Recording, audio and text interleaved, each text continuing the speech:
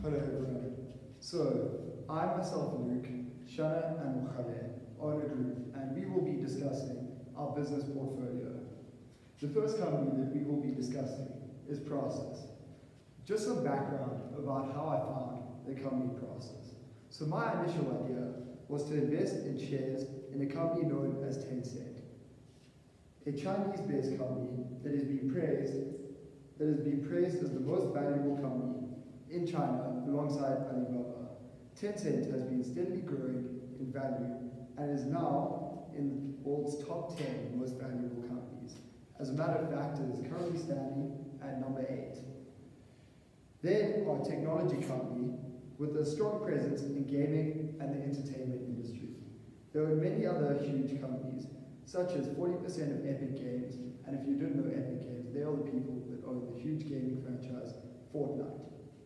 Or 5% of Ubisoft, 5% of Activision Blizzard, 100% of Riot Games, and a majority stake in Supercell, the company that has made Clash of Clans alongside many other games. So why a Chinese-based company? Well, 10 years ago, all of the top companies in the world were US businesses.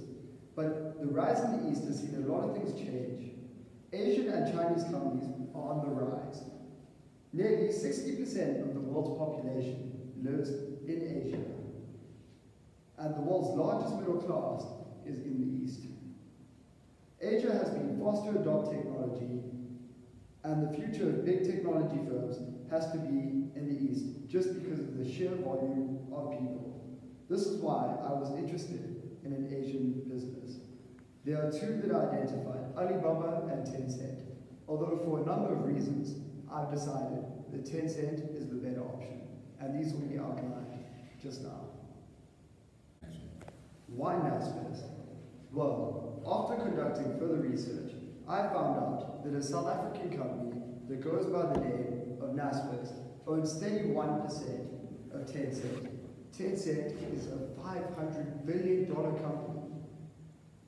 And Naspers only paid 32 million for its share of 31%. And this investment is recognized as the single greatest investment of all time. Naspers is South African is, is South Africa's and Africa's most valuable company.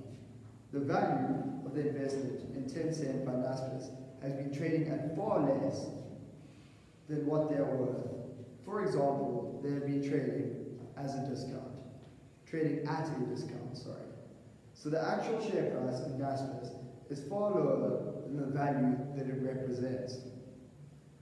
This discount is despite many other Naspers assets, including many classified businesses all around the world and many great South African businesses such as Mr. Delivery, Takealot.com, Gumtree, AutoTrader, and many more, such as MultiChoice, DSTV, and even more.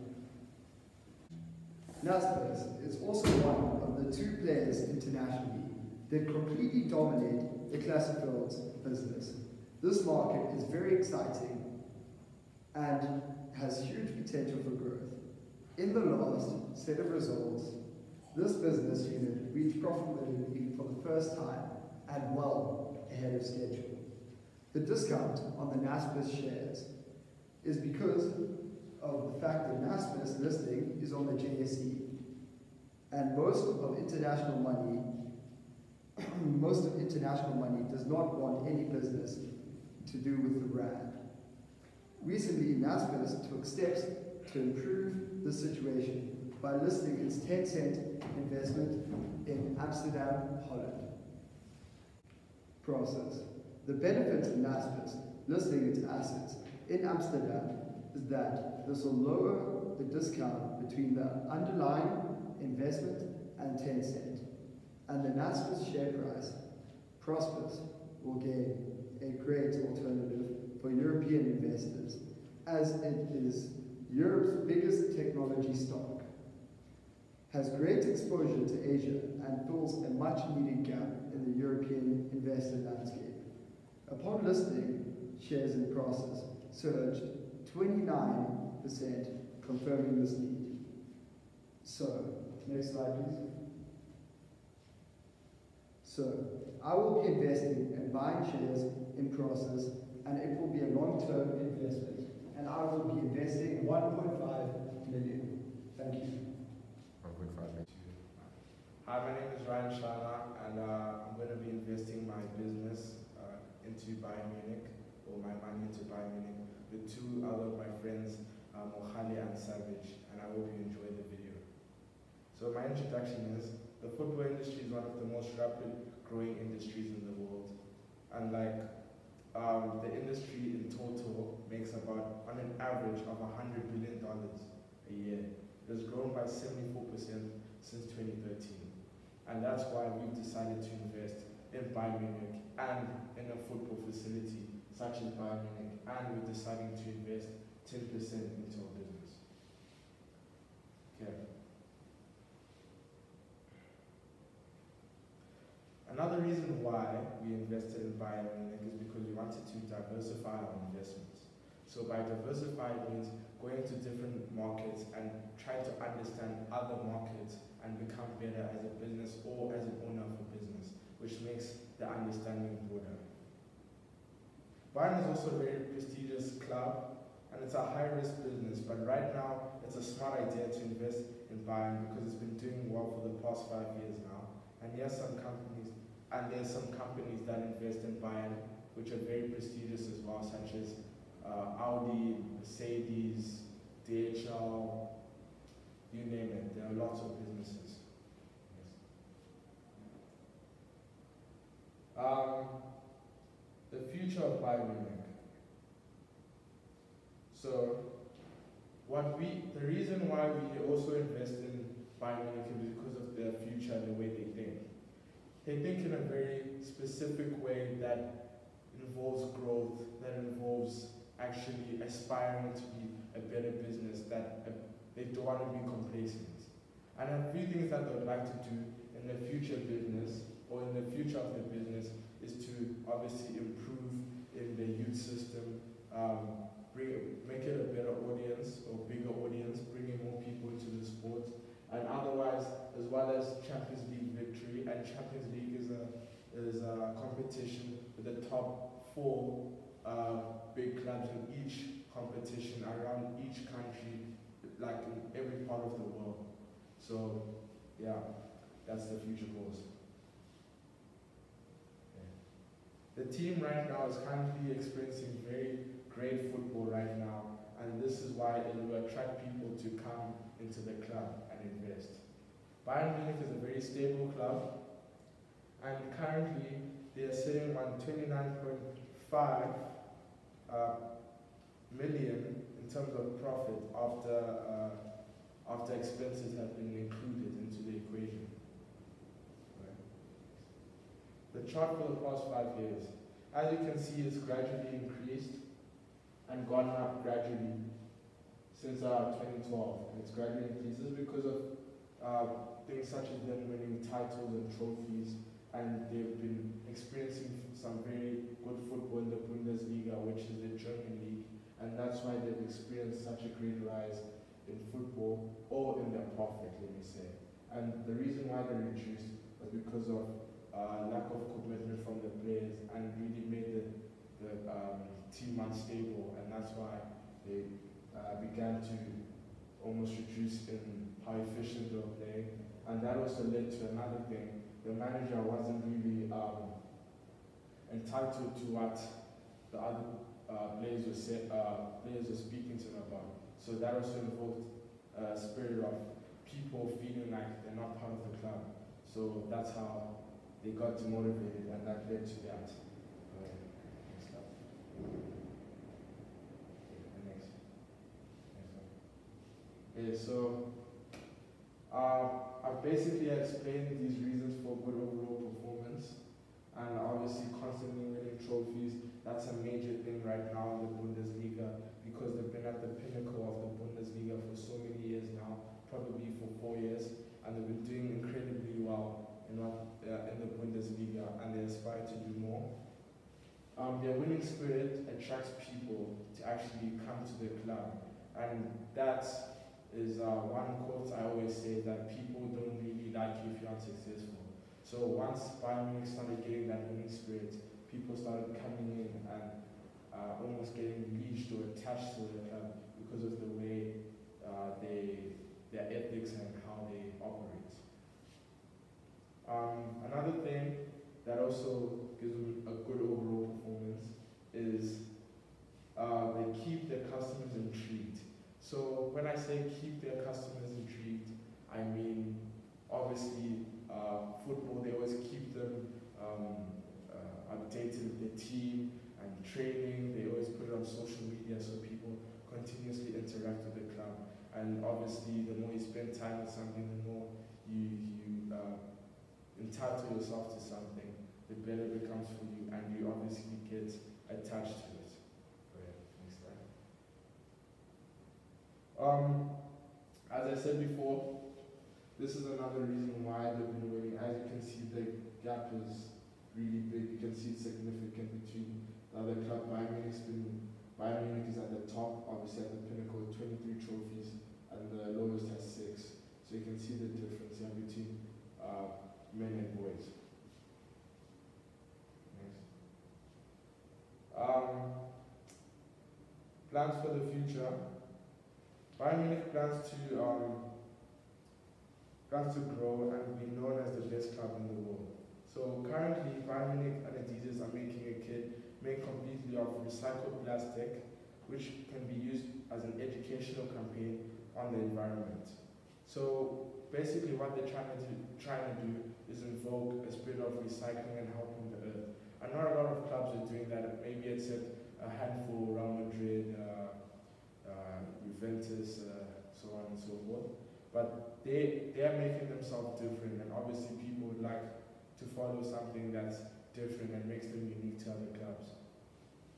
There's also another project at Bayern Munich that they have in store for the public, and this and this will obviously keep them intrigued because they are curious about what they want and what they want to see in the club.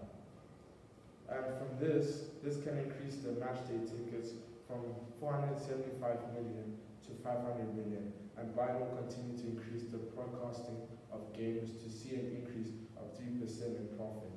So, a lot of people who are involved in uh, helping the world uh, become a better place would obviously kick in or get into the uh, Bayern Munich uh, lifestyle, I'd say, and they would obviously be intrigued because not a lot of clubs are doing that. So they would also hop on and obviously watch Bayern Munich because of the great things that they've done. Hello, my name is Mogale Tsebane, and I'm here to inform you about our final investment portfolio. Alright, so before I get into it, I'd like to discuss the petroleum industry, because this is where we initially thought that we'd invest our money in. As of okay, the petroleum industry has been known as one of the biggest industries in the world, being valued at a tr- over a trillion dollars and staying at that at that value for years now. It's a it's a monster in the market and didn't seem to change until recent as of recently. Because of climate change, global warming, and just global awareness in general, we've seen a rise in alternatives like the EV industry, electric vehicle, uh, with brands such as Tesla and even like uh, already established brands in the market turning into or developing electric vehicles. There are batteries out there that have been developed that last for, well, in EV technology, in terminology, a million miles. This means that electric vehicles nowadays can last longer than your average vehicle. Alright, so Sasol Limited. Sasol, why not?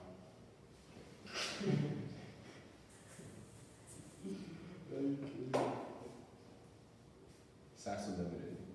This is why we've decided not to invest in Sasol Limited. Sasol in the last five years has seen a decline in revenue and share price. This is because the petroleum industry has been receiving a ton of scrutiny over the, their disconcern for the environment and the rising danger of climate change and global warming. Because of this, we've seen a decline in the entire industry, and I'll explain this later. Sasol Limited has also seen a decline in revenue and share price because of their poor investments.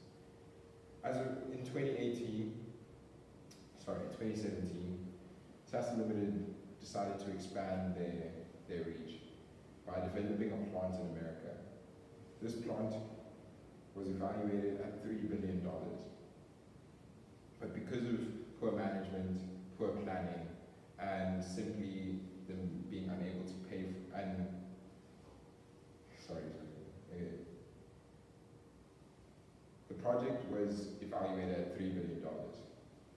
But because of poor planning, poor um, investment, and as well as unexpected expenses, they were unable to pay for this, and this costed the company greatly.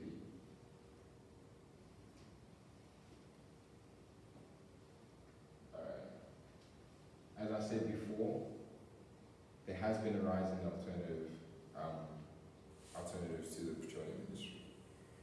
Before 2010, yeah, I'm sorry, I'm sorry. Alternatives. You need to, you need to be like Ucho who just speaks Spanish. He Yeah. just speaks from the top of his head. There's the battery packs. Oh, is it- is it Battery like- is more sustainable, much longer than conventional vehicle options.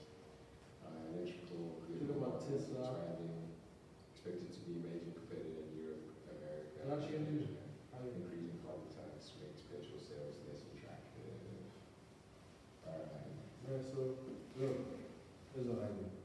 Just make it a broader topic, so you look at BMW Group, right? And then you look, just from there, just link with what you're saying, electricity with renewable resources. Yeah. Then you talk about geothermal, you talk about solar, so you can, like, those things should just come into your head and then explain why it keeps on becoming lower.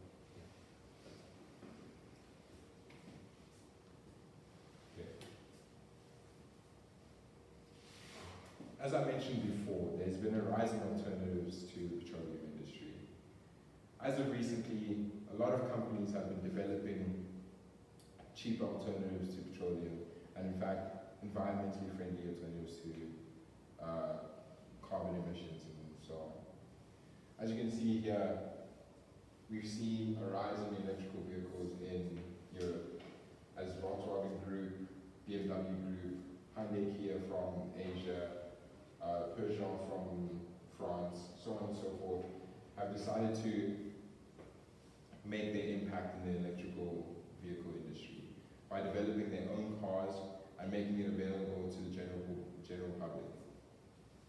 We've also seen uh, battery packs improve and battery technology reaching limits never expected before.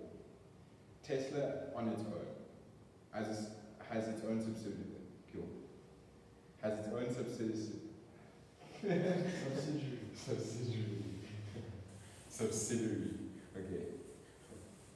Okay, Tesla has its own subsidiary, subsidiary, subsidiary, Subsidiary. subsidiary, Yeah, subsidiary. subsidiary. Yeah.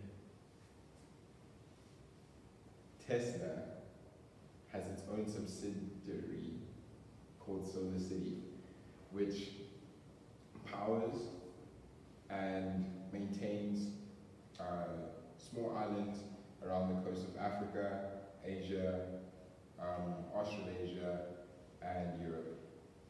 We've also seen the Tesla Million Mile battery pack, which lasts longer than your conventional petroleum car. A rising carbon tax has also seen the decline. Increase in carbon tax around the world has seen the decline in popularity of petrol. In continents such as Europe, America, and Asia, you see carbon tax reaching high levels, which makes, which makes petrol unattractive to consumers. Steady decline in the petroleum industry has been seen in the last five years. This is proven by these three companies, three major players in the petroleum industry, seeing a depreciation trend within the industry. you have the Royal Dutch Shell Company seeing a steady decline since 2014, Sasol Limited as well, and Gazprom. These, these different establishments have suffered because of these, because of the, the recent, you know, change in the petroleum industry and the change in mindset in the world. We've seen a rise in alternatives, as I've mentioned before, Tesla, Solar City, um, Mercedes-Benz converting and becoming and investing in the electronic vehicle industry, Audi, uh, Peugeot, Volkswagen, and so on and so forth. As you see, investing in the petroleum industry isn't really a wise investment. This is why we've steered direction and decided to invest in the retail bank industry. And the company we've decided to invest in, Capitec. Why Capitec? Well, Capitec is the top five, is South Africa's top five largest, is it? Ah. Capitec is one of South Africa's largest retail banks with over 8 million active account holders. And this isn't, this isn't slowing down, don't get me wrong. As you can see here, it's also one of the fastest growing retail banks in the world, with 120,000 new members and new accounts opened every single month. Because of this, Capitec has seen an exponential share price increase, also seeing an increase in, in revenue too. Next slide, please. In the last five years, Capitec is, Capitec's share price has seen a 400% increase on return. This meant that this means that if you put in 25,000 rand five years ago, for every share you bought, you get 130,000 rand back. Wow, crazy, right? Next one. Over 8 million active account holders, 120,000 new customer accounts per month, and the highest return on deposit in the industry due to cuts on expenses. Capitec is completely revolutionizing the retail bank industry. They're a paperless system. They have a paperless system. They have no charges on ATM use. Plus, they have the lowest cost with the highest interest rate uh, on deposit, return on deposit in the industry. This is insane. In 2018, Capitec ended the Capitec ended the financial year with 3.8 billion rand and with a 20% increase on equity. With these numbers and their work, it'd be crazy not to invest in.